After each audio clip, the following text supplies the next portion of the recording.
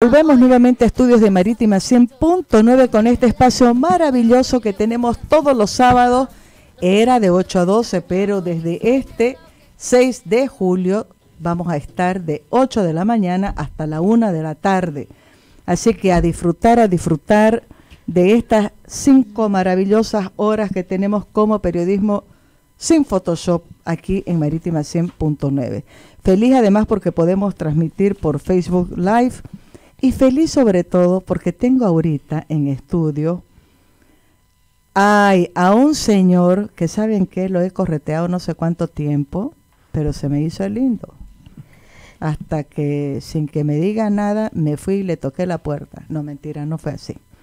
Quiero saludar de verdad con mucho, con mucho cariño y con una alegría enorme a Álvaro Rosas Mendoza. ¿Correcto? Sí, correcto.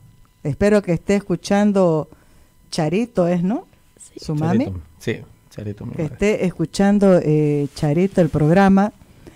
Álvaro, ya se habrán dado cuenta por el apellido, es el papá de Leo Rosa. Dios santo, Leo.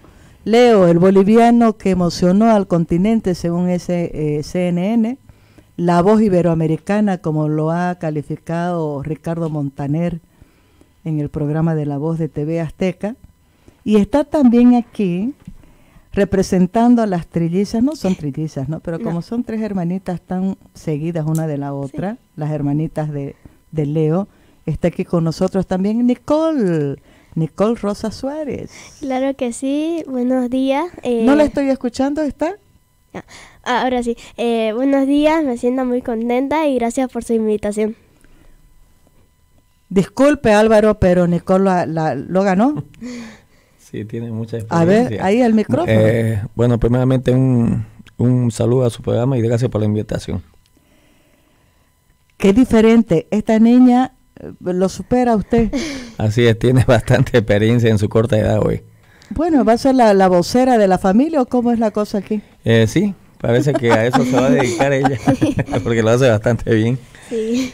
Lo primero, lo primero que quiero, eh, podemos ir, vamos a ir escuchando así pedacito de las participaciones. Eh, Leo Rosa, joven, cruceño, 20 años, fanático de, de, de, la canción, de la música romántica desde chiquitico. Dice él que desde los tres años, ¿verdad? ¿Cantaba? Sí, de los tres años, tres, cuatro años ya empezó a demostrar su talento y de ahí fue pasando el tiempo, a los siete, ocho años empezó a, a cantar en diversos eh, festivales de colegio, viajó a La Paz, viajó a Tarija con su colegio y bueno, siempre hacía sacar el primer lugar en, en el colegio, ¿no, Leo?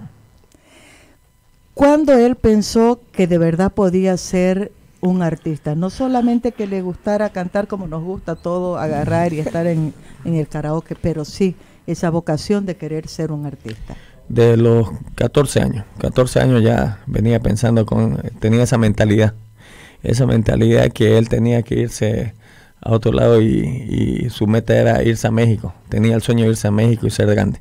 ¿Por qué soñaba con México desde tan chico? Porque él, él tenía varios, varios ídolos, al menos Luis Miguel, Alejandro Fernández, como ellos son de México, entonces esa fue su mentalidad él eh, y su sueño de seguir y ser como ellos.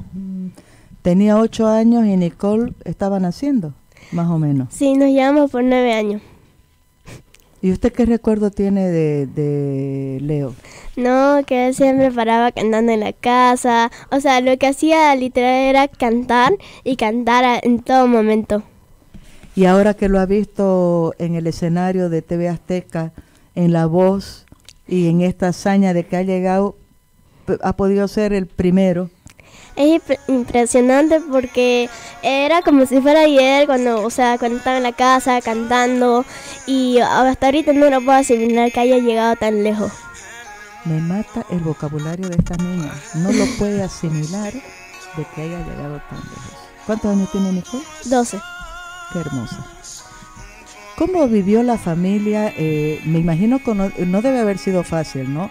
Leo ha ido contando en las entrevistas que, que he visto que ha dado a, los medios de comunicación de que eh, surgió la posibilidad de presentarse a, al concurso de la voz y mandó su video. ¿Qué video tenía que mandar Leo para poder eh, tratar de entrar a la voz? Era un video que, que él tenía que cantar una canción, mandarla por supuesto, y ahí a la semana lo iban a llamar si, si lo aceptaban o no. Y gracias a Dios a la semana, ocho días lo aceptaron y quedó como un shock, digamos, porque le dijeron, tenés que venir porque lo, te hemos aceptado a hacer la audición a ciega.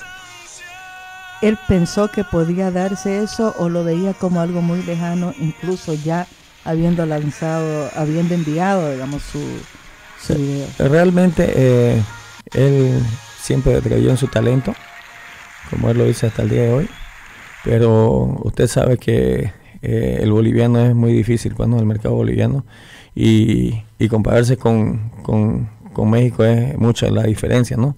Entonces, como le digo, él creyó, pero cuando, cuando ya lo llamaron a los 7, 8 días, que le digo, le vuelvo a repetir, quedó como en shock, no la podía creer y de ahí fue que me dijo, a los tres días, dos días, me dijo, papi, me estoy ahí a la voz, me, me han aceptado.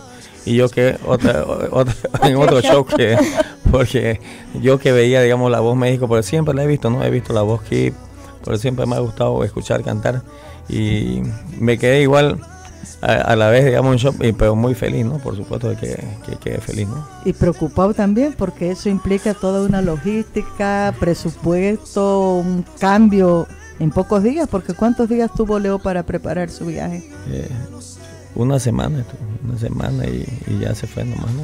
¿Qué canción cantó en el video que mandó? Mire, eh, no recuerdo, no recuerdo la verdad y porque no me dijo, solo lo que me dijo fue que lo habían aceptado, aceptado, digamos, y, y, y bueno, alistó su, como se dice, sus maletas y, y, se fue a México. Capaz que Nicole sepa. no, eh, ¿No? yo solo sabía que él hizo el casting, que pasó la audición, pero una cosita, yo sí soy testigo de que mi padre veía La Voz México, porque mañana, tarde y noche lo veía esperando a que pase la audición de Leo. ¿Sí? Sí. ¿No sabían cuándo iba a pasar? No, no sabía. Por supuesto que siempre no, no, nos comunicábamos con Leo, ¿no? Eh, ese día de la audición eh, me llama en la mañana, me llama a las 6 de la mañana porque acá estamos adelantados con una hora, ¿no? Y yo me, ya me dice, papá, me dice, eh, estoy por pasarme a, a, la audición de las 6. Y ya le dije, no, eh, ore por mí para que me vaya bien, ¿no? porque él es bien creyente, ya oramos, pedimos en familia, ¿no? estuvimos todo el día nerviosos y recién a las 7, 8 de la noche me llamó, que ya había pasado y que había, se habían volcado los, los coaches. Y imagínense la emoción, digamos. Dios. O sea, de pasar nomás. Y eh, me dijo, cuando pasó nosotros en la noche, no la, o sea, por su talento sí, ¿no? Pero digamos, eh, eh, ese rato usted sabe cómo es el, ser humano, la emoción. Eh, realmente nos sentimos muy, muy felices y orgullosos, ¿no? Solamente para que la gente tenga dimensión de lo que es esto, yo insisto, una hazaña. Eh, creo que fueron, no sé, 100 mil, 200 mil que llegaron videos de todas partes, pero de todo eso se hizo una primera selección de 500 ¿no? personas que podrían participar.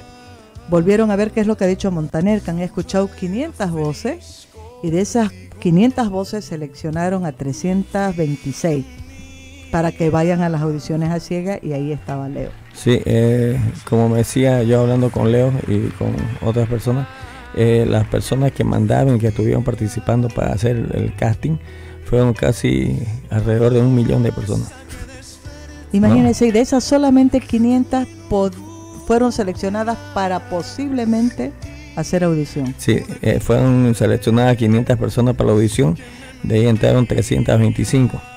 Y de ahí así sucesivamente ya quedaron eh, 70, después por, por, grupo, después 51, después, bueno, hasta el final 12, después, bueno, como todo el mundo sabe, ¿no? Cada, quedó cada finalista de su grupo, ¿no? Pero a lo que nos vamos que eh, casi un millón de, de, participantes, ¿no? Porque y no, ahí estuvo Leo. Así es, no nos olvidemos que México tiene 130 millones de habitantes, ¿no? Eh. Una locura. Y del extranjero, ¿no? Porque han ido al extranjero bastante, ¿no? Y, y mire, Leo, Leo, ha sido el único extranjero que quedó, ¿no? Porque habían chilenos, el argentinos, y cubanos. Y además, remarcando algo, ¿no? Era el único boliviano porque de la Argentina, de Chile, de Costa Rica, habían de 11 países, incluyendo México, había muchos participantes por países. De Bolivia solamente era Leo, nadie más. Sí, era el único. Eh, primera vez en la historia que hay un boliviano, ¿no? Y con que pase nomás la audición estábamos felices, pues, ¿no? Porque nadie había, eh, no que estemos desmereciendo a los bolivianos, sino que por el mismo eh, costo económico, ¿no? Porque usted sabe que acá en Bolivia no apoyan al, talento casi, ¿no? Esperemos que ahora sí las autoridades Ay, ahora debe estar todo el mundo atrás de Leo, ¿no? Ofreciéndole de todo. ¿ah? así puede ser, ¿no? Pero bueno, como le digo, entonces es mucho orgullo, ¿no? No solamente para la familia, ¿no? Para todo Bolivia, ¿no? Porque eh, realmente hasta los, jurados han quedado eh, felices con Leo, ¿no? Ricardo Montaner, como lo halaga eh, Belinda, Yair ni qué decir, ¿no? Hasta Lupilla. Yo estoy impresionada porque, digo, de los jurados, el más franco fue Ricardo Montaner. Ha llegado a ser durísimo. Yo estaba reviendo anoche eh, varias de las sesiones, varios participantes han terminado llorando, ¿no? Palabras muy duras, pero así tiene que ser. O sea, a mí me gustó la franqueza, a muchos tal vez no lo hallaban que era antipático, no sé qué, no, la franqueza. Y es impresionante no solamente lo que le decía Leo, sino cómo lo contemplaba cada vez que Leo estaba en el escenario. Sí, se ve en los videos, ¿no? Cómo lo contempla en un comentario viendo, como dice una persona, hasta el maestro Montaner se queda con la boca abierta, dice, y lo apunta, ¿no? Entonces, pues, eso da pues bastante ganas de que siga Leo eh, a él personalmente, ¿no? Como, como cantante, artista, entonces eso le ha dado más fuerza a él que, que una estrella como es Montaner eh, le diga eso, ¿no?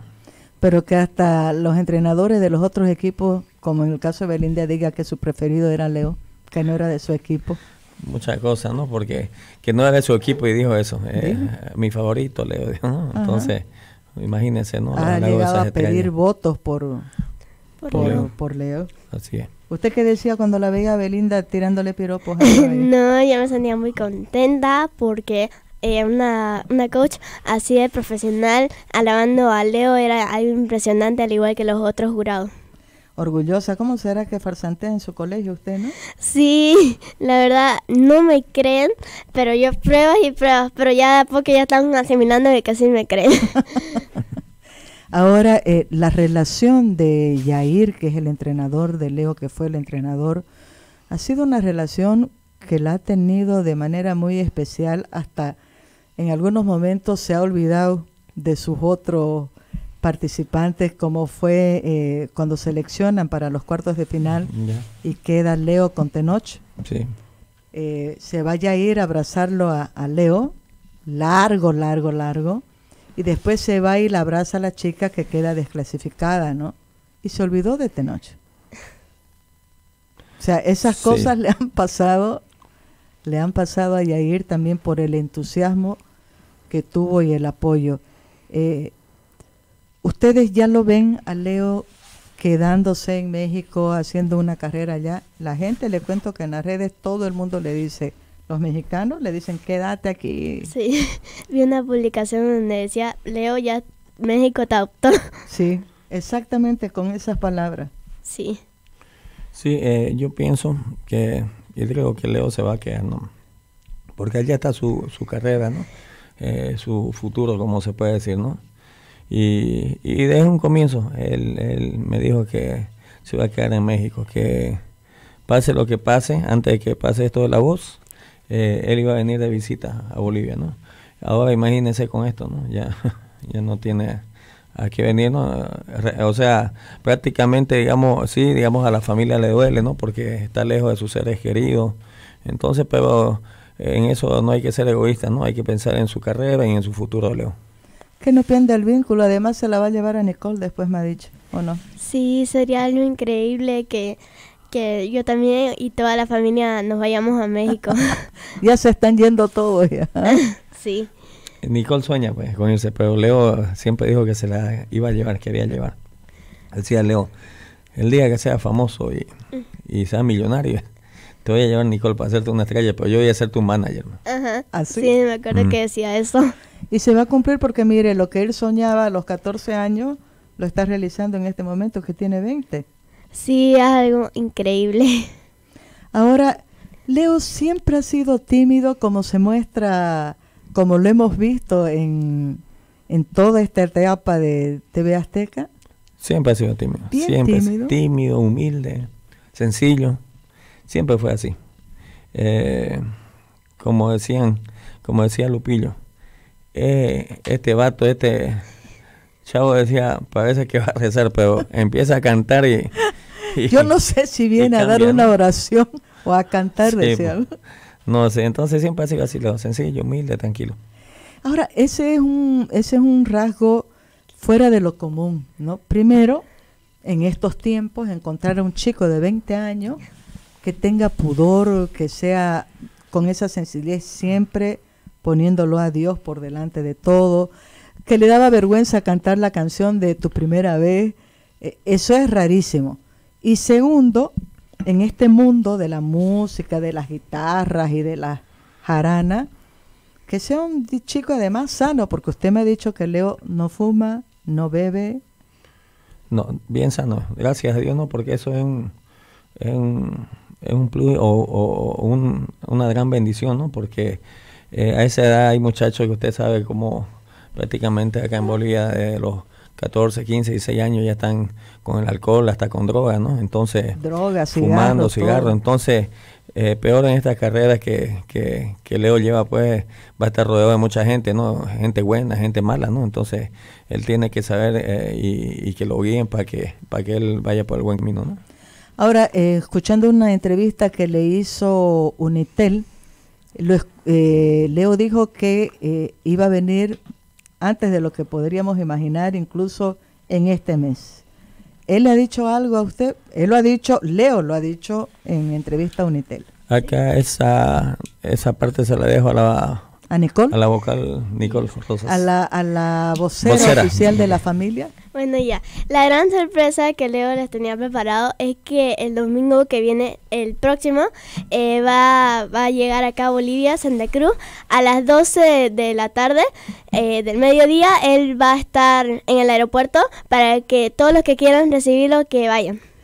El 14, ¿no? Domingo 14 de julio, Leo llega, viene, me imagino que Tito viene con él, o, o Tito ya se ha Tito está acá. ¿Ya se vino? Sí, llega, llega con su manager y con, su, con la eh, señora que está en lo, en lo personal que le ve sus cosas a Leo. Con dos acompañantes más. O sea que va a estar súper acompañado. ¿Y qué le ha dicho? ¿Qué piensa hacer? Va a ser una locura. Sí, ¿Sabe cuál va a ser la locura? No solo la gente que va a ir allá. Claro. La pelea de los canales de televisión Ay, sí, por tener la entrevista con entrevistarlo. Sí, Sí, yo a ser- pienso, ¿no? Va- Yo creo que ya eso su equipo se encargará de coordinar, ¿no? Ahí sí, porque si no los van a volver locos a Sí. ustedes. Sí. Yo creo que voy a cambiar de chip. O usted se lo deja su chip lo a, a, a Nicole y usted se agarra a otro y ya que no lo sepa nadie más que Maggie Talavera y Tito Monasterio. Eh, ¿Ha puesto el anuncio? a las Al 12. mediodía, Ajá. domingo 14 de julio. También Leo va a estar en La Paz y en Cochabamba. La Paz, Cochabamba y Santa Cruz va a estar. ¿Tiene fecha ya para La Paz y Cochabamba? Todavía. No, todavía solo en Santa Cruz, que será el próximo domingo. La gran sorpresa que tenía preparada. Gracias por compartirla aquí, la noticia más esperada, porque saben que ustedes que están acompañando las redes, no, usted no es mucho sí de redes, No, Álvaro. yo no. Yo no. ¿no? Yo No le tengo que Nicole enseñar para usar. aquí. Ya, creo que me la voy a traer a trabajar en la radio, a Ay, Nicole sí, los sería sábados. tan bello. Va a ser mi asistente personal. Sí, sería ¿Qué tan tal? bello. Miércolina. Todo el mundo pidiéndole que venga. Y pidiéndole que venga con Jair también. Sí, Eh, eso eh, está en- es un proyecto, como dijo Leo, ¿no? Eh, Dios quiera que en, agosto ya, ya se pueda realizar ese, ese proyecto y sería lindo un concierto Leo Jair, ¿no? Yo pienso que toda la gente iría y, eh, bueno, esperar que se concrete ese, ese proyecto de Leo y Jair, ¿no? Vamos a hacer un cortecingo antes para que después se puedan despedir bien va a escuchar el himno cruceño completo. A partir de ahora, como nos vamos a quedar hasta la una, religiosamente, como sucede todos los días, de lunes a domingo en Radio Marítima, el himno cruceño como deberíamos de cantarlos todos. Marítima FM 100.9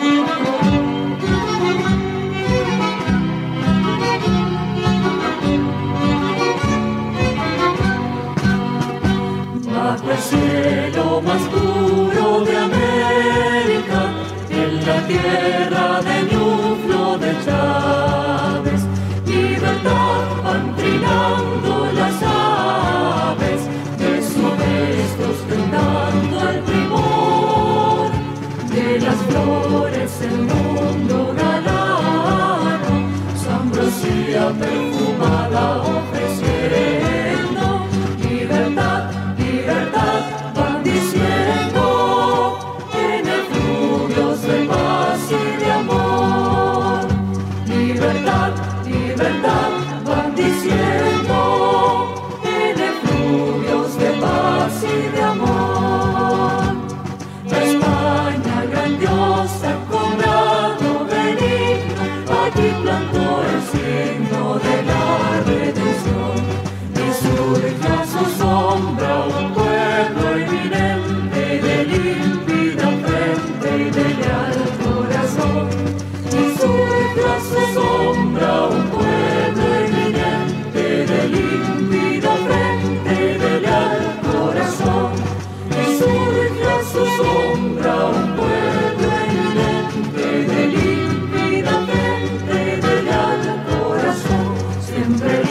Let's do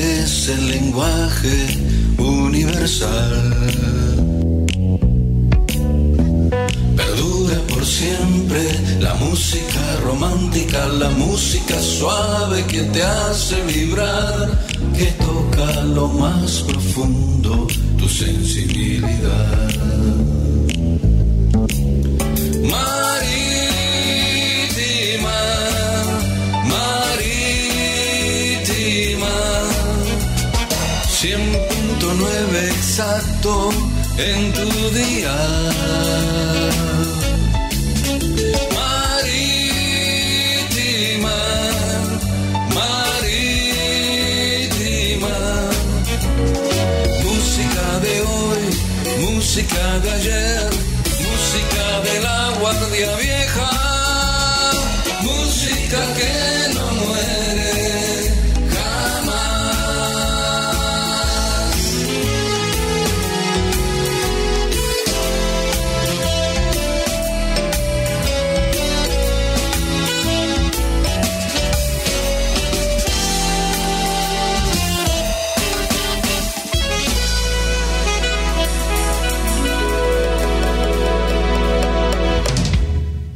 Marítima FM 100.9.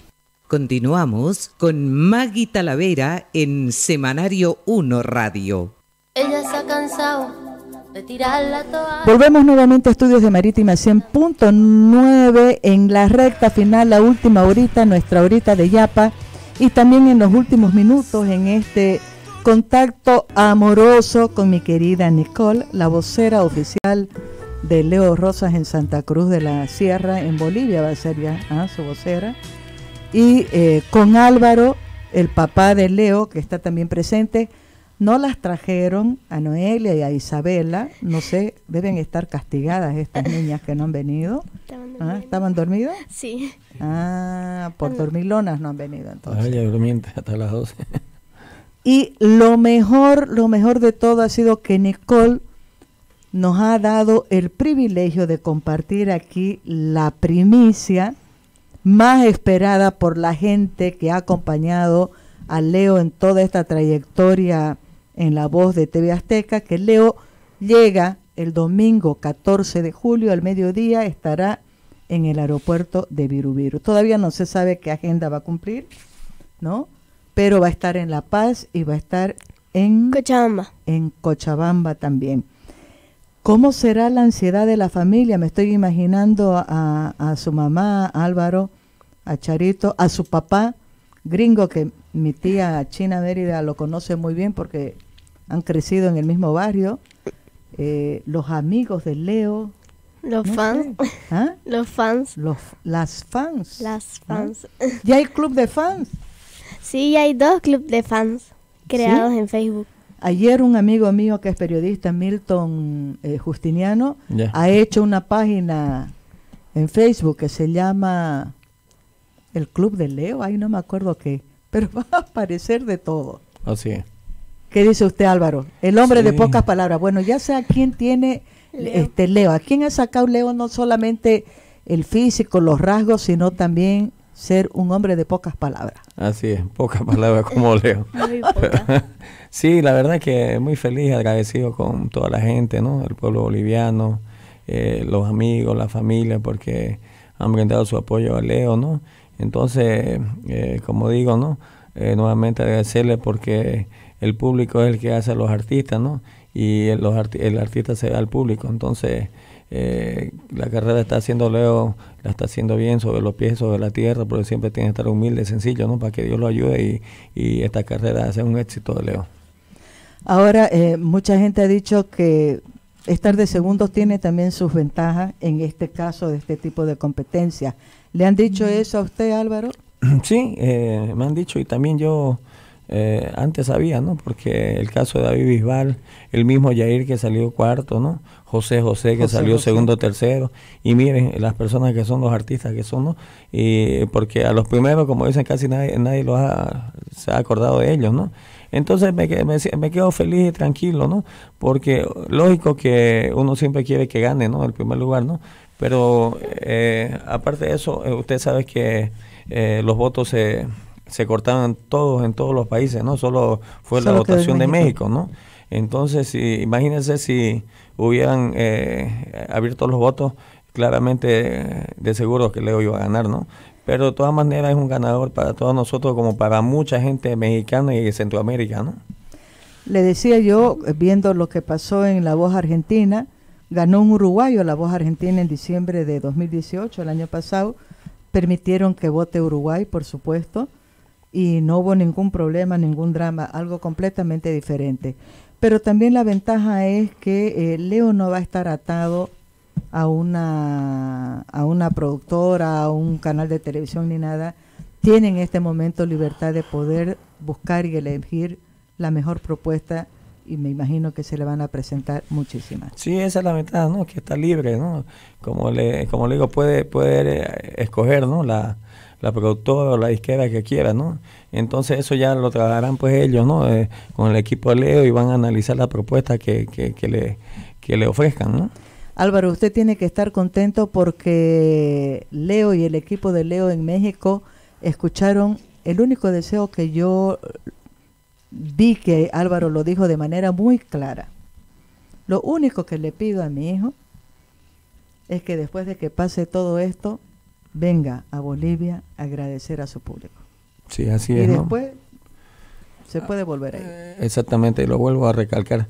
Eh, Leo tiene que venir a Bolivia porque se vea su público, porque es su, su tierra, ¿no? Es su país donde él nació. Entonces, él, gracias a Dios, eh, ya el domingo no falta casi nada, ¿no? Entonces, lo estamos esperando con ansia y bueno, decirles que lo hizo bastante bien y lo vamos a estar esperando con los brazos abiertos, Leo. Voy a tener que buscarme una poleranga así, grandota, con la foto de Leo. Voy a hacer el club de fans de eh, la tercera edad. No, todavía no estoy en la tercera edad, me faltan unos añitos para llegar a la tercera edad. Pero puedo hacer con Charito un club de, de Un fans. club de fans. Claro.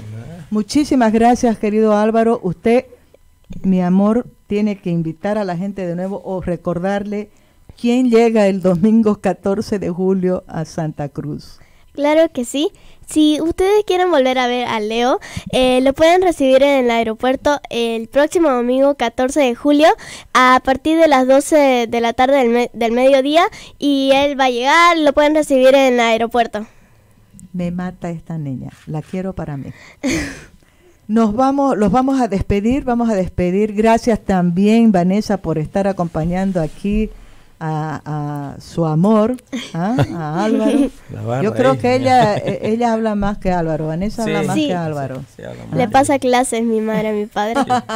Sí, las dos me, me, me pasan clases, me, me asesoran. Eh, Lo vamos a despedir, pero tiene ventaja ser de pocas palabras, sobre todo en situaciones como esta. Sí, ayuda Eh, mucho. Lo vamos a despedir escuchando, yo sé que es la interpretación que a usted más le gustó de su hijo Leo en La Voz de América, que es Todo se derrumbó. Muchísimas gracias por invitarnos. Ahí espero que no sea la primera ni la última. Eh, yo invitación. espero que ustedes eh, me abran las puertas siempre. Siempre van a estar abiertos para usted.